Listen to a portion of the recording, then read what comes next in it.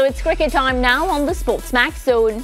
In just over half an hour, West Indies women will march into battle with host Australia in the second one-day international in Melbourne. The Windies will be on the hunt to level the series after suffering a heavy eight-wicket defeat in the first match on Sunday without skipper Hayley Matthews, whose fitness is still in question. The action will be live on Sportsmax immediately after the Sportsmax Zone. And joining us this afternoon to preview this match on his birthday is cricket commentator Nikhil Uttamchandani. Good afternoon and happy, happy birthday. We're sending you a lot of love and good wishes. Thank you so much, Maria. Thank you to the Sportsmax Zone team. I'm happy to be here.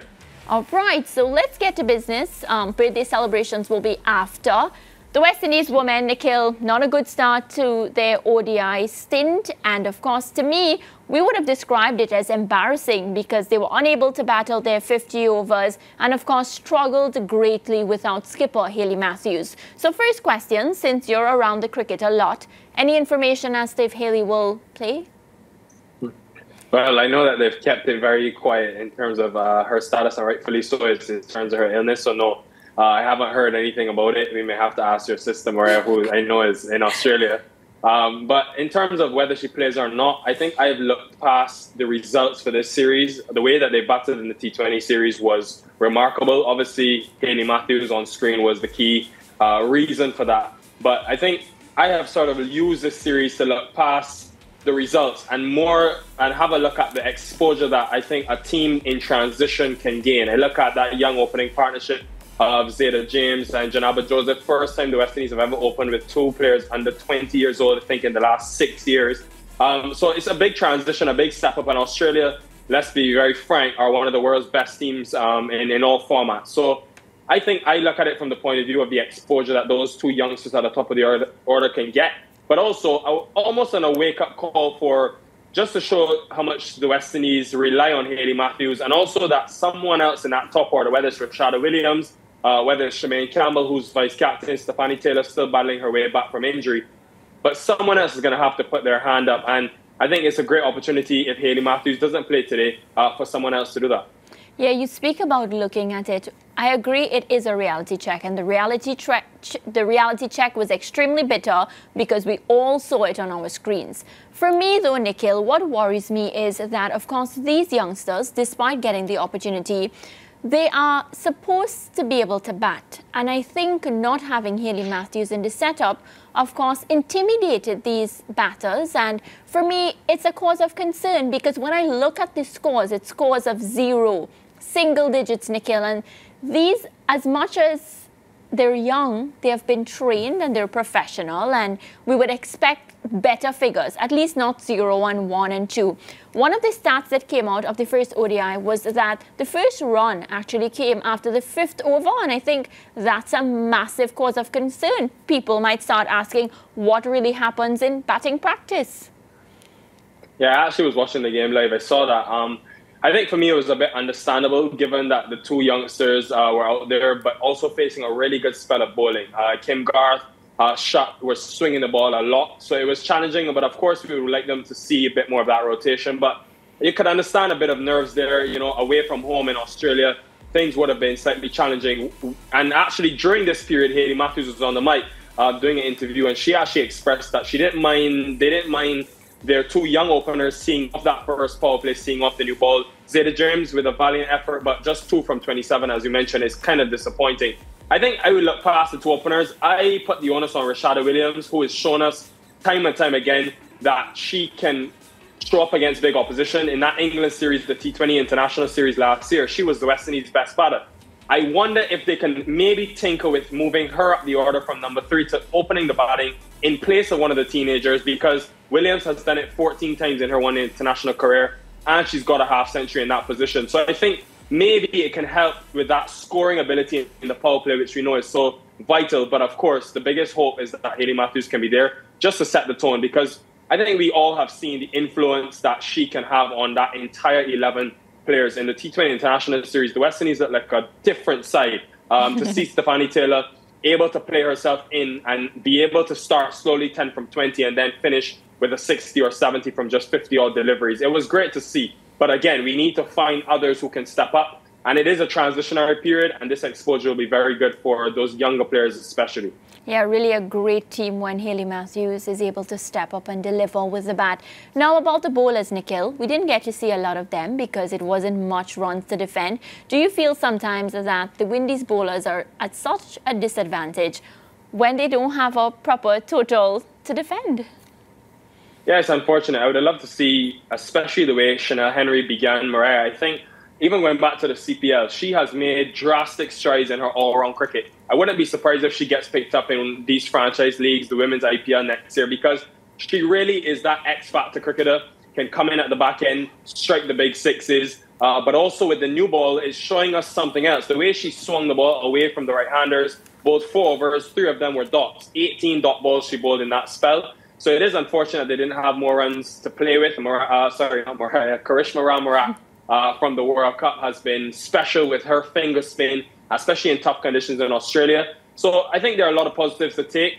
Um, as you said, it's kind of unfortunate that they haven't had much to defend, but let's hope today that you know they can set a good total if they bat first, and then we can really see a test for the bowlers. Aaliyah Alleyne is another young prospect in terms of her seam bowling, who has that bit of extra pace that can be uh, an X factor for the West Indies bowling lineup as well. Yeah, Nikhil, you touched on it just now because I had some question marks about their decision to use the 18 year old Zaida James and the 19 year old Djenaba Joseph to open the batting against such a, a high quality uh, Australian opening attack. Um, at the moment, we aren't sure if Hayley will play tonight. Um, would you be surprised if Hayley doesn't play tonight that they go back with the two teenaged openers because it, it was a, a failed experiment? I understand giving the young players the opportunity, but it, it just appeared to be too much for them, really. Yeah, I mean, to be honest, Lance, I was quite surprised at first, but again, then I reminded myself this is a brand new coaching staff for the women. Shane Deitz, I guess, maybe wanting to see the right combinations, test his players in different ways. But I think I would agree with you in terms of the fact that you have Rashada Williams in the side, who has opened the batting alongside Hayley Matthews 14 times. She's shown against South Africa in that series last year that she got a half century, and she's capable of, of batting against the new ball and also maximizing the two fielders outside the circle. I personally would have started with her, and you almost ease, even if you want Zaida James to open the batting, you can almost ease a Djenaba Joseph in against the spin in the middle overs if the openers get off. And it could be a lot better in terms of a transition to this international stage for them. Because let's be real, the jump from the CPL to the international setup and facing the Australian quality is a huge difference and a huge step up. So mm. I do expect them to make a change if Hayley's not available but I can understand a new head coach in trying to test his players and see them go about things a bit differently. Because I think the way that Hayley Matthews in that T20 series has come out batting is unlocked a new level. I remember last year on the previous tutelage, very cautious, trying to bat through the 20 overs because she knows her importance. In those three T20s, it just like she was business from ball one, and it worked. Yeah, and I mean, I know you mentioned Rashada Williams, and I and I, I, I get that, and I agree with you. But given the lack of experience of the two teenagers, even Shemaine Campbelle or Stafanie Taylor to me could have been options to open the batting um, if it is that you're stuck with these inexperienced players to shoulder the responsibility of a, a fast bowling attack for the Aussies that is like the best in the world. Yeah, and there's even been indications in the past that many believe, Lance, that Chinelle Henry, who we've seen strike the ball at the back end of the innings, can almost come to the top order. And because the West Indies have struggled in 50 over cricket in the first 10 overs so badly, you never know if she comes in and gets you a 12 or 15 ball 30, that could really set the tone striking at 200. So I think there are a few options that they can use. I just find the biggest area of improvement needs to be able to bat that 50 overs. And Australia, England, India, the best bowling attacks in the world, will present the biggest challenge for the West Indies women. I think in these two matches, whether they bat first or chase, I mm. think they should be looking to maximize those 50 overs and at least get to 200, 220 because let's be real, in the one international format, it's Hayley Matthews or nothing. She averages 40 in wins and just 20 in the games that they've lost. So they depend on her so heavily. I hope if she comes back and she gets a total at a ground that she's very familiar at the Junction Oval in Melbourne, I hope that others can bat around her and the West Indies can face all 300 deliveries. Yeah, and remember that the Aussies aren't even using Ellyse Perry as a bowler because uh, the all-rounder has an injury and she's just playing right now as a as a batter. But there was a Cricket West Indies release today, um, Nikhil, that I'm pretty sure you would have seen about a West Indies A team to tour Pakistan. And uh, Rashada Williams has been named captain of that team. And a lot of the younger players uh, who have made brief appearances for the, the, the, the, the, West Indies team proper are in this setup. And this, I think, is a glorious opportunity to sort of bridge the gap with these A team players to get themselves some international experience and um, you know some some some boost in their preparation for the bigger assignments against the best teams in the world. Yeah, most definitely, Lance. I think in both the men's and women's game, we've been crying out for more A-team tours.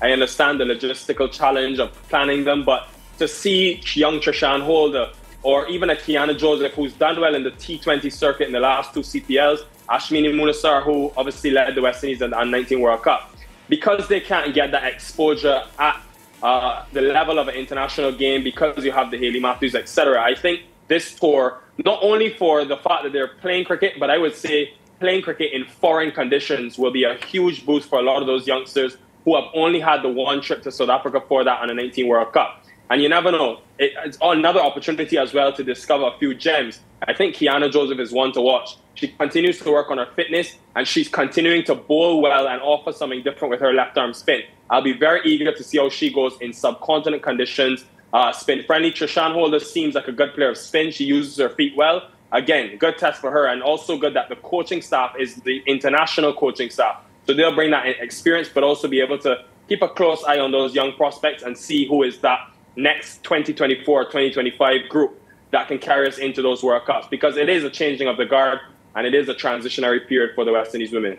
Yeah, and as we get ready to wrap this segment, Nikhil, just a quick comment on what you saw from Natasha McLean at the CPL, and are you surprised that she has not been included at all?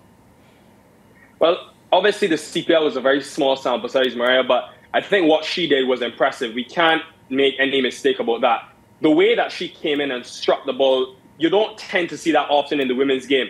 And a few of like Sophie Devine and a few of the overseas players actually continue to talk about her skill set. So I definitely think that performance has put her sort of in the reckoning of the selectors. The only issue is that we don't have that much domestic cricket. But when we do have the regional T20 Blaze or the regional 50 over competition for the women, that is a perfect opportunity for Natasha McLean to work hard on her game now and then come there and show that she has the consistency and also repetition. But if I look across the 20 players in that West Indies women's side, I don't see anyone that offers a skill set. Maybe a Chinelle Henry and obviously Hayley Matthews, but someone that comes in and can go from ball one.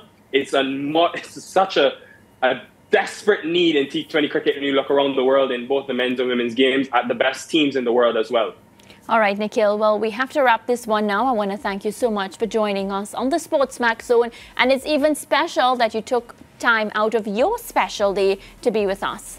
Thanks again. Uh, best gift ever. Thank you very much, guys, for having me. All right, Nikhil Uttamchandani there, of course, our cricket commentator, cricket analyst. Anything you want to know about cricket, Nikhil is the man. Let's take a break.